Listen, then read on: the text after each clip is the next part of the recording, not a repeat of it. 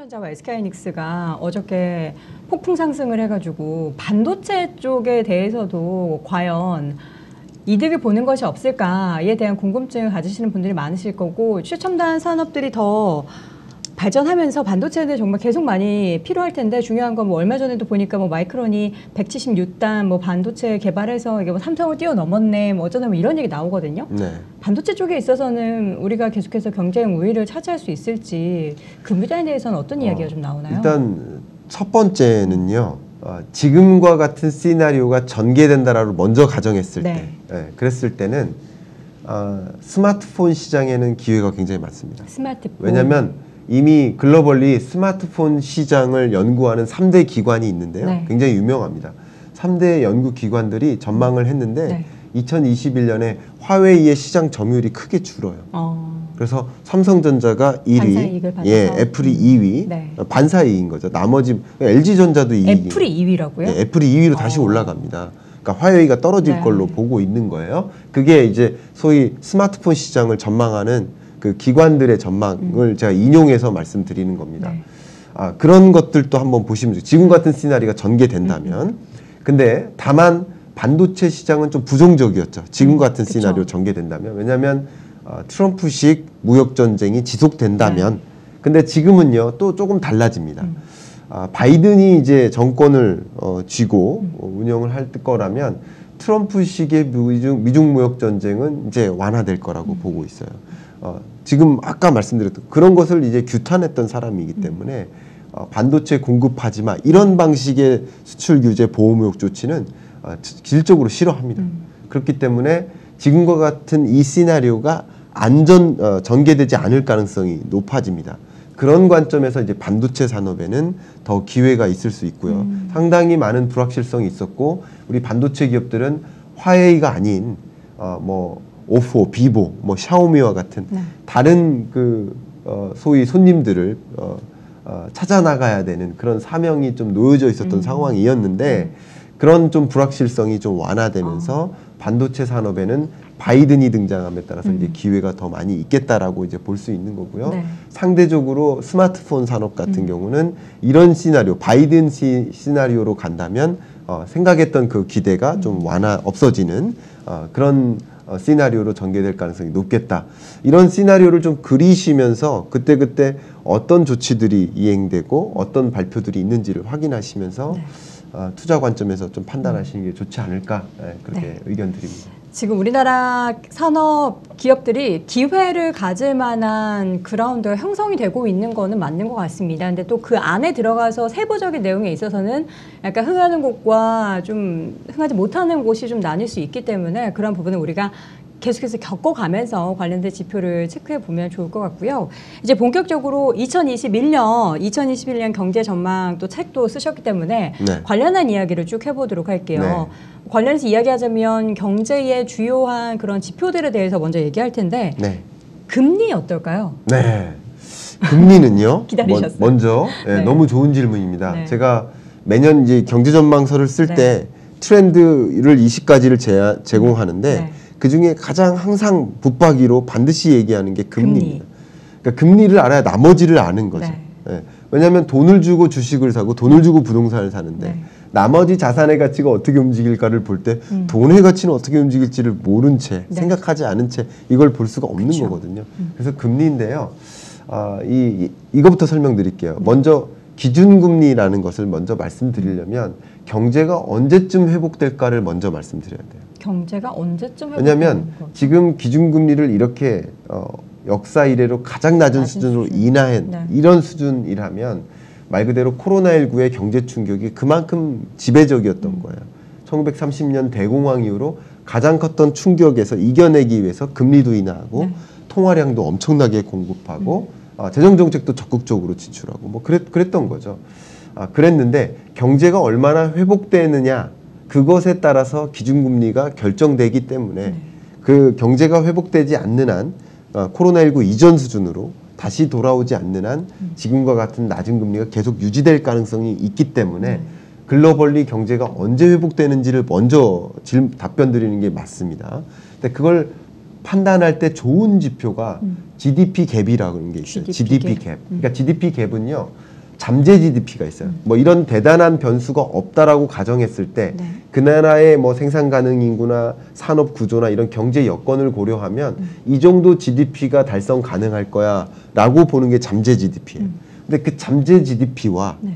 실제 코로나19 충격 때문에 없어진 GDP가 있잖아요. 네. 그게 실질 GDP라고 볼 수 있겠죠. 그래서 잠재 GDP와 실질 GDP 간의 격차. 이게 GDP 갭입니다. 네. 근데 GDP 갭이 마이너스겠죠, 올해가. 그렇죠. 엄청 충격이었으니까. 예를 들면 올해 원래 성장률을 대략 한 2.5%라고 했다면 한국 경제가 근데 마이너스 1%라고 한다면 대략 3.5%. 마, 삼- 마이너스 3 마이너스 3.5%가 GDP 갭인 거예요. 그죠? 그 포인트가 퍼센트 포인트가 단위가 되겠네요. 아, 이게 GDP 갭인데 GDP 갭이 언제 플러스로 바뀔까가 경제 회복의 여부예요. 근데 지금으로서는 globally 2023년까지도 플러스로 전환되지는 않아요. 그러니까 다시 말하면 2021년이 저점인 거 맞아요. 네. 2020년 2분기가 저점인 거 맞아요. 그리고 20년 3분기, 4분기 회복되고 21년에도 회복세를 지속할 거로 보고 있어요, 현재로서는. 그러나 플러스는 아니다라는 예, 거죠. 그러나 전 고점, 전 코로나19 이전 수준으로 돌아갈 만큼의 회복은 아니라는 거. 그게 굉장히 중요한 요소고요. 그렇기 때문에 어, 글로벌 금융위기 충격 이후에 미국이 아, 지금처럼 제로금리를 만들었다가 2008년 제로금리를 만들었다가 2015년까지 제로금리를 유지했습니다. 양적 완화를 여러 번 하고요. 그러니까 그런 것처럼 상당 기간 낮은 금리를 유지하면서 경제가 제자리로 돌아올 때까지 기다리는 거거든요. 그래서 기준금리 추이는 2020년, 21년 계속 낮은 금리가 유지될 것이다라고 보는 게 기본적인 저의 전망이고요. 네. 그다음 두 번째는 시중 금리는 조금 다릅니다. 시중 금리는 이제 시장에 플러스 알파가 적용되기 때문에 어, 이미 저점을 찍고 완만하게 상승세로 가는 것은 사실이죠. 네. 그러나 기준금리라는 것은 어, 저점을 어, 계속 유지할 가능성이 높겠다 이렇게 어, 전망하고 있습니다. 그럼 환율은 어떤가요? 지금 환율은 달러 약세 쪽으로 네. 지금 계속해서 흐름이 나타나고 있는데 내년 환율 시장도 계속 이 기조가 이어지는 건가요? 네, 기본적으로 달러 약세 기조가 유지될 것으로 보고 있는 것이 저의 view인데요. 네. 아, 이것은 주요 세계 12대 IB 뱅크들의 전망도 유사합니다. 아. 저도 인용해서 말씀을 네. 드리면요. 아, 기본적으로 바이든이 만든 이 세계 경제는 불확실성의 완화죠. 네. 예, 시나리오대로 갈 거라는 거죠. 어느 정도.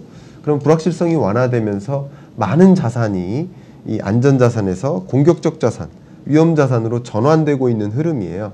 그런 과정이다 보니까 자연스럽게 아, 이 달러라는 안전 자산에 대한 수요가 줄어들면서 어, 이렇게 아, 약세 흐름을 가져갈 것이라고 보고 있는 것이고요. 네.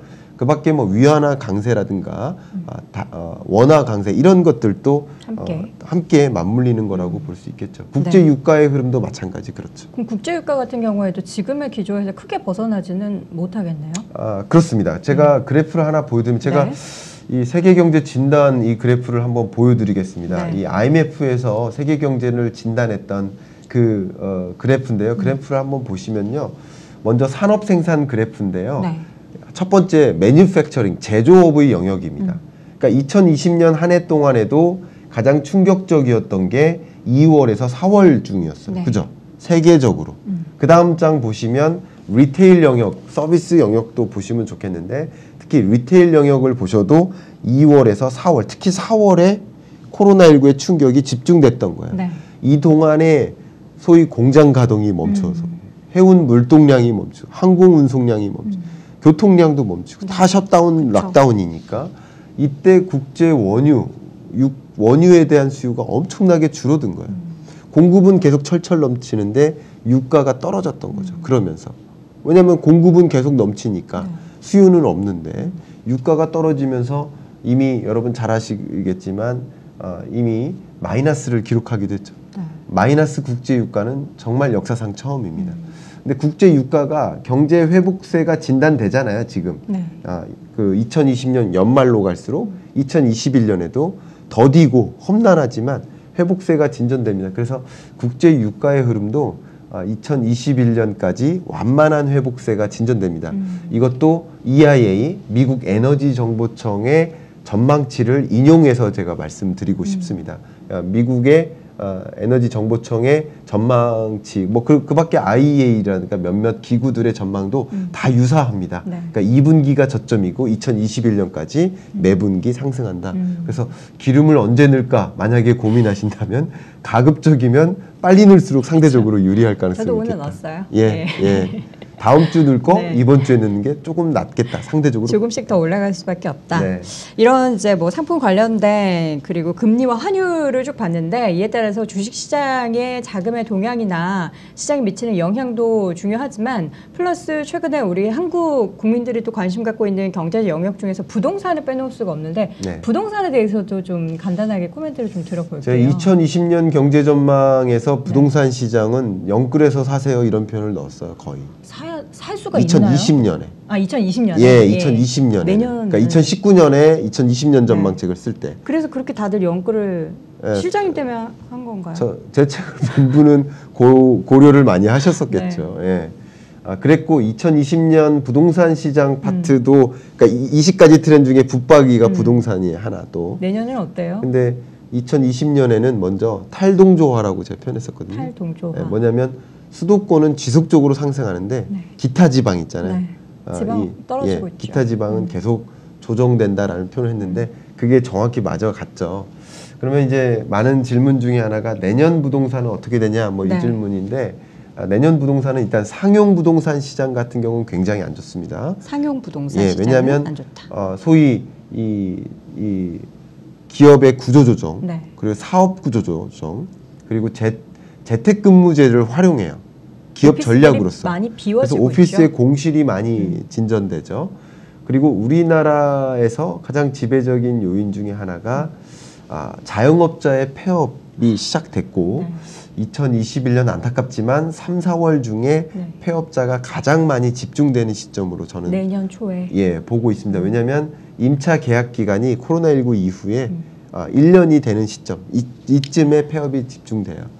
그러니까 이제 상용 부동산 시장은 공실이 많아지면서 네. 다 어려워집니다. 근데 우리나라 어려워지고 있거든요. 네. 공실률이 계속 올라가고 있어요. 네. 당연히 가격이 떨어지죠.